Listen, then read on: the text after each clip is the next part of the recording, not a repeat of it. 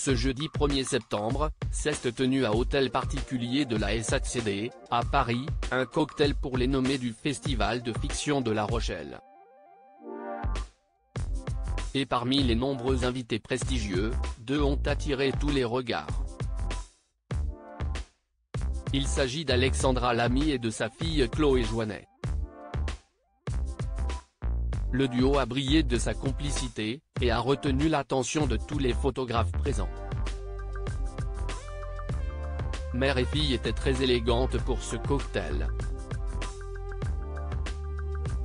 La comédienne de 50 ans a opté pour un top léopard, quand sa fille de 24 ans, elle, était en total look noir.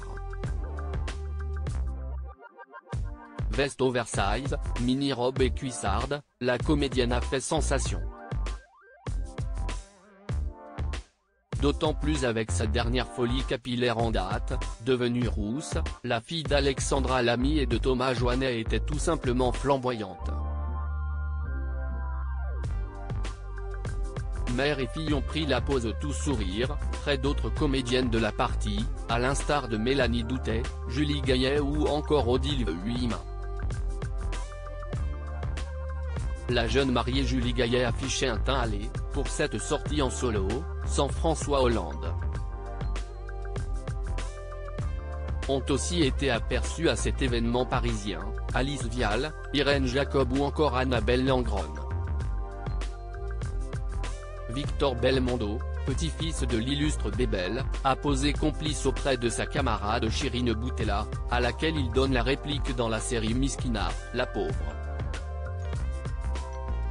Une série Prime Video à venir pour le 30 septembre prochain est signée Mela Bedia, qui était aussi à leur côté ce soir-là. Julie Gaillet, Victor Belmondo et Mélanie Doutet Julie Gaillet, de son côté, a passé du temps avec Firmin Richard et Bérangère Krief.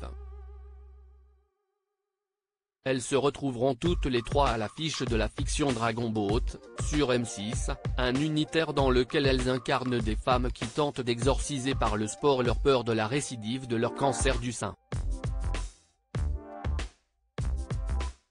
Ambre Lazaret, Alizé Coste, Marie Denarnaud et Axel Grandberger ont aussi participé à ce premier cocktail pour les nommés du Festival de fiction de La Rochelle.